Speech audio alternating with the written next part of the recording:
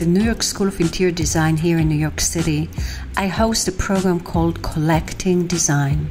In a recent session devoted to the American studio movement, I interviewed Jeffrey Head, whose book on mid century designer Paul Evans was recently published.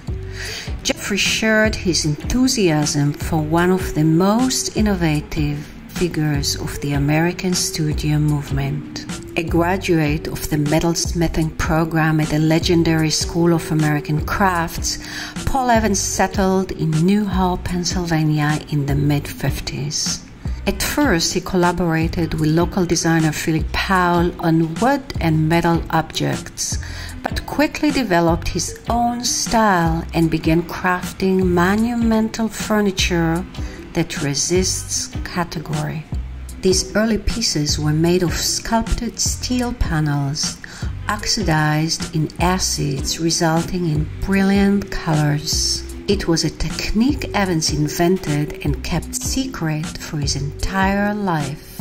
Evans worked in metal in a way no other designer had ever done before or since, arranging metal panels in rich quilt patterns. According to Jeffrey Head, Evans created no more than 75 pieces in angular forms, turning complex textures into his own signature expression, a mode that corresponded with the brutalist architecture that was sweeping America.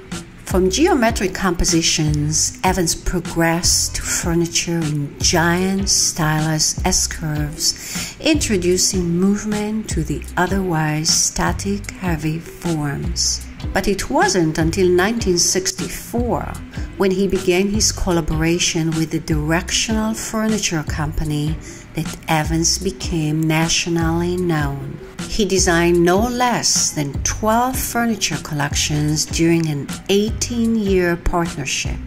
The first collection was based on a theme of traditional quilt patchwork. He used copper and pewter and oxidized them into bright colors. He chose black and white for the next variation, which he achieved by blackening aluminum sheets with ink. Evans named this series Argente.